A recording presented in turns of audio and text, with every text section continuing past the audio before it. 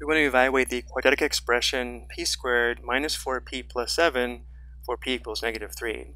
So the first step is to perform substitution, which means we replace p with negative 3. When performing substitution, it's important to put the value in parentheses. So for this first term, p squared, when we substitute negative 3, we'll have negative 3 in parentheses raised to the second power, and then minus 4 times, again, we'll substitute negative 3 for p, so minus 4 times negative 3 plus 7. I want to take a moment and emphasize how important it is that we have this negative 3 in parentheses to interpret this correctly.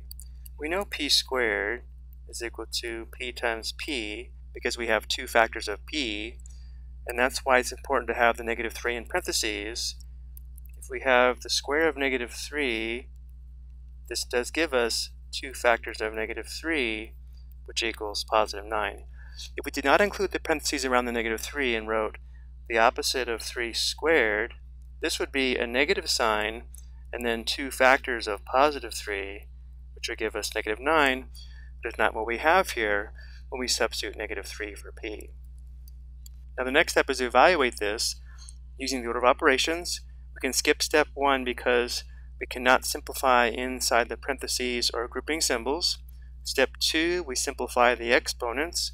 Well, we already know that the square of negative 3 means negative 3 times negative 3 or positive 9. So this expression is equal to 9 minus 4 times negative 3 plus 7. Now we have subtraction, multiplication, and addition. So step 3, we multiply and divide from left to right.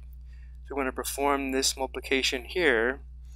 So we have 9 minus, and then positive 4 times negative 3 is negative 12. So we have minus negative 12 plus 7. Notice how here, though, we do have minus negative 12, which is equivalent to plus positive 12. So let's write this as 9 plus 12 plus 7. And a lot of times, when we're at this step here, because we have minus 4 times negative 3, we often think of this as just negative 4 times negative 3, which equals positive 12, and therefore we have plus 12. And therefore we can actually skip this step here and just write plus 12. And of course, our last step is to add and subtract from left to right. Here we only have addition. 9 plus 12 is equal to 21. 21 plus 7 is equal to 28.